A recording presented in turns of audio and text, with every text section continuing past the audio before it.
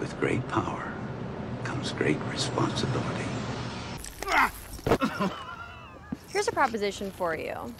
You're gonna give me your jacket, your helmet, and your motorcycle, and in return, I'm gonna let you keep your hand. Take it.